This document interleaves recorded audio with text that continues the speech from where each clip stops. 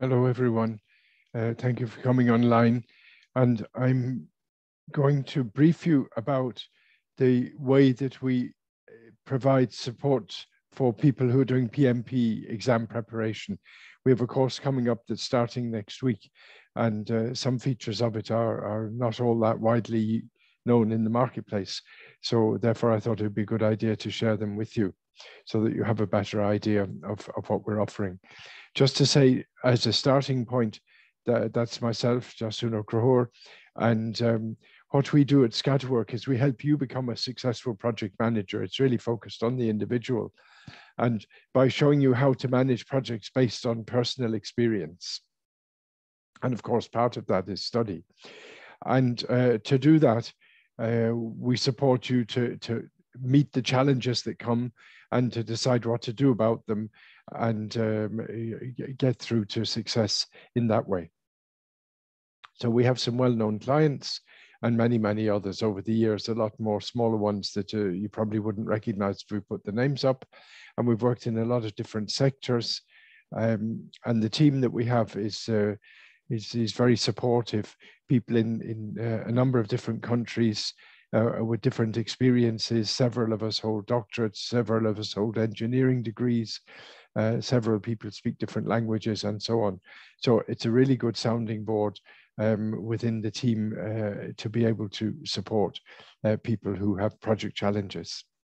And we've worked across the world, mostly, as you can see from that, on a line from Europe to Asia, with um, uh, some of the countries in between particularly, and uh, over most European countries, in fact, although there's no space for them on the drawing there. Okay, so what do we do? Well, what we do is that we have basically two sides to our action, and one of them is called Prime Project Program. So this is where we support people directly on their projects, and um, you could describe that as as coaching or as um, consultancy and so forth and we have some structured programs as well in there. But that's not the purpose of today. The purpose of today is to talk about the pmp exam because that's another way of supporting people is that if uh, all the people in the company um, use the same method uh, or methodology then obviously it makes life easier. Otherwise you're really starting from zero every time So if you don't wish to be on the recording, this is a good time to, um, to pull out.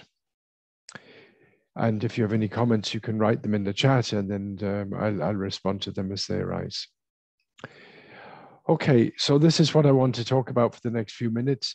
Um, what is PMP? What are the exam requirements, study time, and, and then our PMP exam prep program, uh, which I believe is, is very effective. And then uh, subsidies and booking links for anyone who'd be uh, uh applying for uh, a study around this time. So the first thing is what is PMP?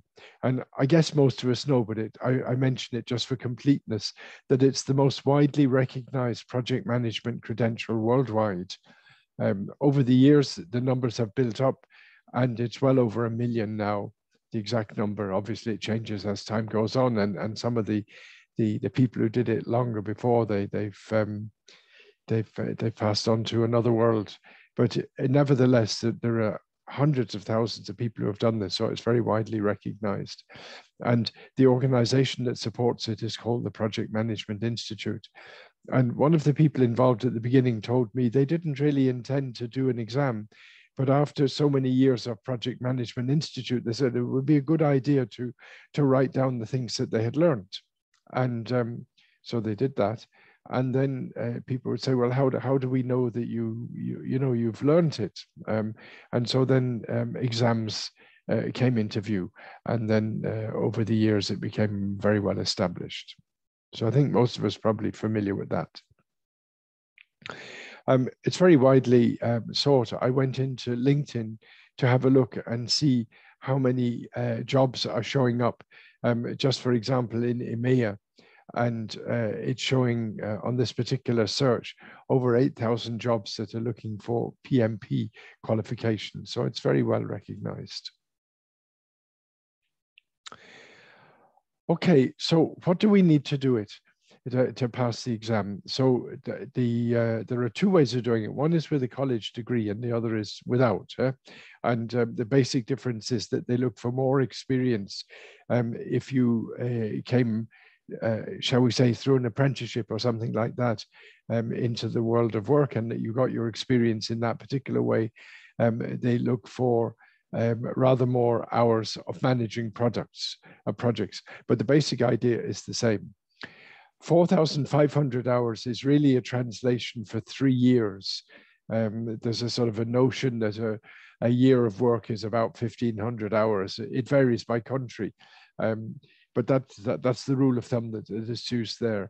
So you have to document that on your application form that you have this number of hours um, doing um, uh, project management, managing projects, in other words. And then there is a, a, an administrative requirement, if you like, that you have 35 contact hours of study.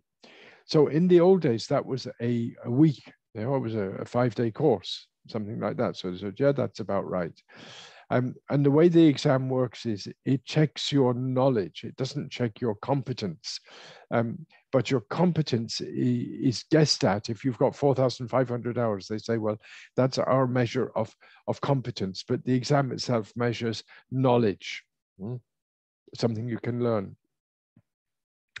Okay, and then they introduced an adjustment in the last uh, year or so where people who had the CAPM exam, which is based on the same material, the very same material on the PMBOK guide, um, uh, if you have that, uh, then then you don't have to do these contact hours. So CAPM is an easier exam, um, and it doesn't have these hours of management experience requirement. So you could, for example, do it while you're a student at college, or or you know a year or two after you start work, or something like that. Um, but if you do have it, it counts instead of the 35 hours. Okay, so that's fine. But actually, the reality is that you need a lot more than, than um, 35 hours to pass the exam. The uh, statistics are there um, I've heard people say 150 hours, although I think that's a bit exaggerated. I have supervised myself courses where the study time has been measured, and uh, 80 or 100 hours tends to be a, a sort of number you can expect. And in very round numbers, if you think of it as being a 35 hour course, and if you did plus two more weeks like that, then that would bring you up to around 100, 110, 120 hours, something like that. You're certainly not going to pass with 50 hours study. Um, it doesn't matter how much you know um, uh, you know, it is an exam and they have their own terminology and that takes time to, to bring in. So it's not just experience. But of course, if you do have experience and particularly in a company that uses that methodology, um, then, the, or that terminology, then you, you'll find it much easier to, to, to um, do the exam. And um, uh, as you can see there, um, you can reduce the number of hours of study by using systematic proven study tools. So that's something that we have. I think one of the things that wastes a lot of time is that people, you know, they learn something on a course or from a book and they didn't quite understand it. And then they spend hours sort of trying to work it out. And that's time.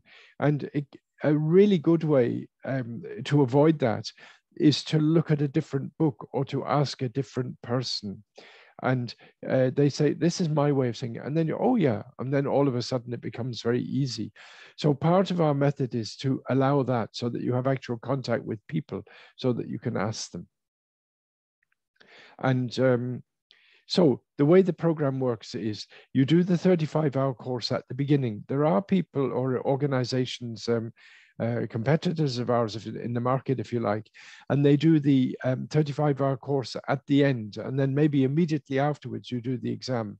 So it's sort of a high pressure approach, and it certainly works, um, but it's it's not the easiest way of doing things. We do it a different way. The way we do it is you start with the 35 hour course and you learn as much as you can.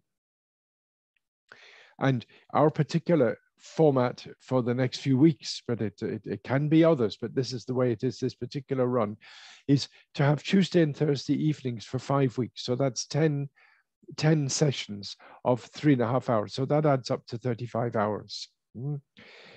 And then um, if you have a, a, number of people in the same company or the same organization and they all want to do it together, then they can define their own schedule. They can do it evenings or weekends or, you know, different time zones or whatever. Um, but the, the, the critical mass, if you like, is eight people. And if you tell us you've got eight people, then we can work out a different schedule um, pretty well, anything that you would need. Now, there is a thing here that you can um, uh, you can also look on Scatterwork and you can find um, a, a, page there that will actually show you um, what other courses are coming up. So we advertise this particular course is evenings and weekends, but if you go onto the Scatterwork link, you'll find other courses that are run, for example, from Monday to Friday in various different time zones, and it may happen that one or other suits you. So that's the first thing that we do is the 35 hour course. And then systematic study. So we have an approach um, which is, is documented. It's it's not high technology or anything, um, but it mean it takes you consistently through the different subjects.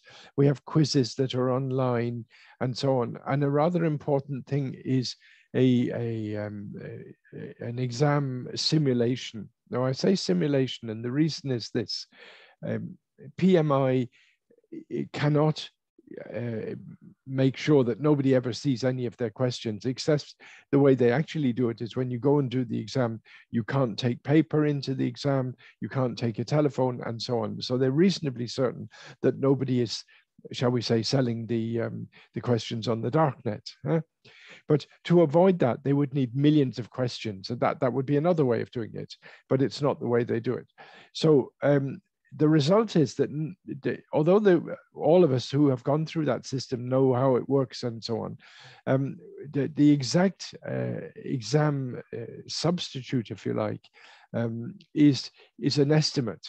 And all the suppliers do that, and they all have um, something that is similar in their uh, opinion.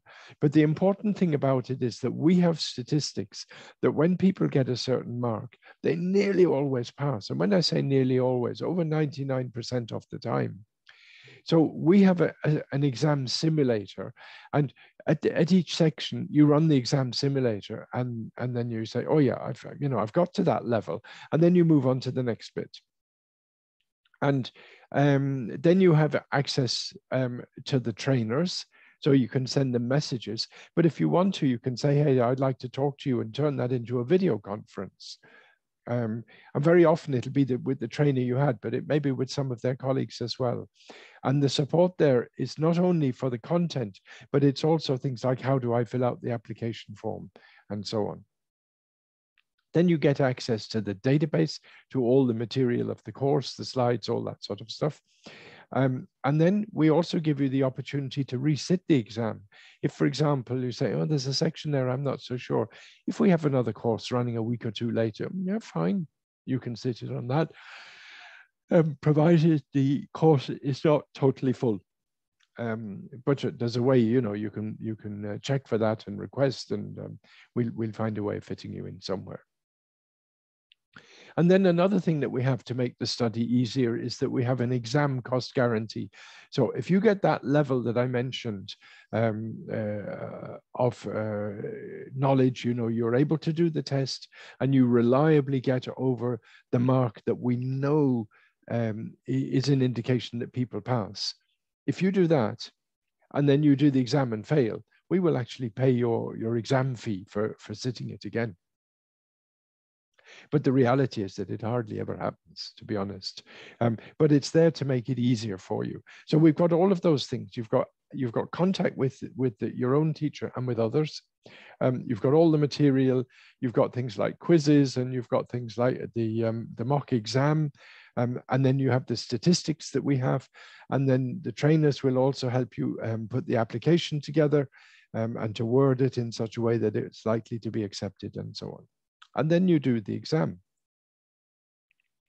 And um, uh, typically people go through that study cycle in, shall we say, eight weeks. So if, say, if you've got 70 hours, I said, plus the course itself, say you have 70 and you do it in seven weeks, say in eight weeks, then it's about 10 hours a week. Uh, um, you need to put in. So five hours twice. So you might get up early on Saturdays and do it for five hours and then do it on Tuesday evenings or something like that. So it's it's not trivial, uh, but it is achievable. That's the whole point. And the, the, the another point is that you can do the exam when you're ready. You don't have to work against a deadline. Um, but we do know from experience that people who drag it out and they say, oh, I'll get back to it after the summer and so on, they always say that was a mistake. So there you go. That's the way that we do it. So the next thing is to do with the um, how do you do the um, booking, and um, there are two different ways of doing it we have an arrangement with an organization in Ireland called a SkillNet, which is basically funded by um, the industrial companies have to pay a levy, which is available to them only for training purposes. And the SkillNet uh, collects the money and then the SkillNet di- disperses it. And um, what it does is it supports an administration so that in a particular industry or in a particular area of the country, um, there will be a process running for finding out what courses are needed and so on, and uh, and booking people into courses, all that sort of stuff. And then if you do the course, um, some of the money that's in the pot is used to subsidize it. So in fact, the company gets it less, but obviously they pay for it in the in the fee in the um, the levy. But what it really means is that everyone pays the levy, and if you want to get your money's worth, well, then you do your training through SkillNets, and there are about 70 of them. So this particular SkillNet, um, we have an arrangement with them. And if your company is a member of the International Financial Services SkillNet, um, of which there are about 300 companies, if your company is a member, then the fee is 1199 including the exam fee, which uh, if you check it up, you'll find is very, very competitive. And we have a link here that you can go to for that. Now, other people may want to do the, the course, of course, and they may not be working for the skill uh, for a SkillNet company, and um, so we have a different arrangement there. We have a different link um, which you can click on when I send you the slides, and um, this link will take you to a booking form, and in the booking form uh, there's, there's there's the fee, but if you include this code by the end of April, TEH63 if you include that code, it will automatically calculate a reduction for you. Uh, so that's for people that are I maybe not in the SkillNet or or elsewhere in Europe, for example, or or indeed anywhere. Uh, but from time zone viewpoint, it's more likely to be interesting for people in in uh, somewhere in the European continent. So two separate ways. If you end up on the wrong one by mistake, doesn't matter. We we we redirect you. Hmm. But the, the first one, you don't need cash to book um, because the booking it will be paid by your your employer and so on, and uh, so you can say I'm interested, and then then they can book you for it. And um, on the other one, uh, you need a credit card, which you can I guess recoup as a as a business cost.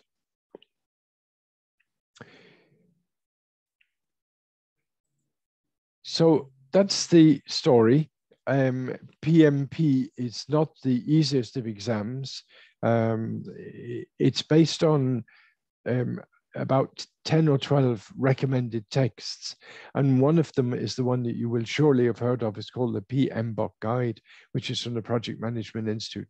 Up until the last version of the exam, that was the main reference. Uh, but now they say it is a main reference, but there are lots of other main references as well. So you, you can't just sort of read one book and learn everything. Um, so you know how do you do it? Well you go to a course um, you interact with other people you read other books um, you interact with the trainers um, you do test questions on paper and then you do them through the system and so on. And when you get to that that famous level that critical mass level um, for the area you can you can do the the, the uh, simulated exam. And if you pass on that you can move on to the next section and you work your way through so there you go. So if anyone has any questions, please feel free to, to contact me there. And um, I hope you find uh, that it, uh, this helps you um, pass the exam. So thanks very much.